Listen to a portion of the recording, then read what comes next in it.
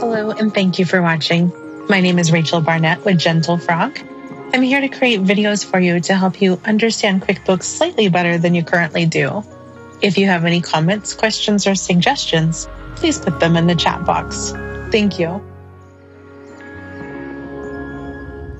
Hey there. In this video, I'm going to show you how to enter your records directly into your register. This stuff I show you is going to be, uh, will apply if you're entering into your checking account, your savings account, your credit card, your loan. I, I just, I feel like sometimes not everything downloads from the bank like it's supposed to, or there's a weird situation where you just need to go make an entry. I thought it'd be important that you knew how to do it. So let's go ahead and do this. I don't care how you get there. I'm just going to go chart of accounts. I'm going to go to my checking account and I'm going to click on view register. However, you want to get to your register is just fine with me. If you want to flip between registers, you can just click on this at the top and then toggle down to whatever other register you're working on. To add something to your register, you're going to want to click on where on my screen it says add deposit. If you click the drop down to the right, it'll give you a menu. If you click on add deposit, it's it's automatically going to create the space for you to work and so you, you can choose. Do you want to click on the selection that QuickBooks has given you? Or, or do you want to click on something else?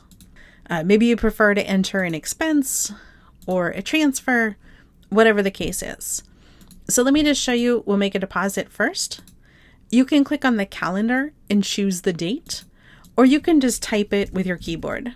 I'll often type stuff with my keyboard and then press tab to move to the next field. So I'm making a deposit. I know that because it says add deposit. I'm not going to have a payee. I'm going to skip the memo. I'm skipping all this. I'm not going to enter money in the payment column because when I deposit money, I am depositing it. So it's going to go in the deposit column. Let's make it $1,000. If I try to save now, QuickBooks is going to say no. Like, why are you depositing the money? Where does it come from? It doesn't come from thin air. So you have to select which account it comes from. Uh, let's scroll down and see if I can find something interesting. Um, services. It's going to come from services income. So I'm going to select save. I've now added a deposit to my register. I can click the drop down and make an expense. I can do that on a different day. I can record a reference number if I have one. I don't need to. The payee, let's use Adobe. Uh, pay Adobe, what is it, 20 bucks a month? And then for the reason or the expense account, um, in my QuickBooks, I have it in there as software. In this QuickBooks, uh, my sample, I have office expense, so I'm going to choose that. I'm going to go ahead and say save. If for some reason you want to enter everything manually and you like this and this is comfortable, that's totally great. You can do exactly what you've seen me do. If you need to add an account that doesn't appear on the list, at the very top of this dropdown, you can click on Add New and then fill in the account that you need. Or you can go back to your chart of accounts.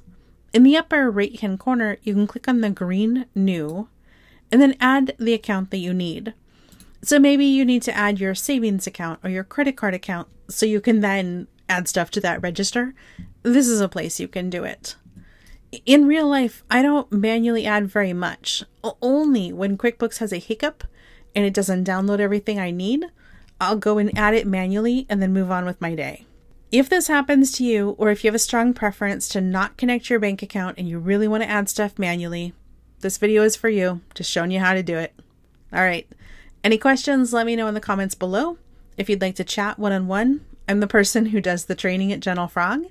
If you need to outsource your bookkeeping, then it's myself and Megan, and we're both available to help you.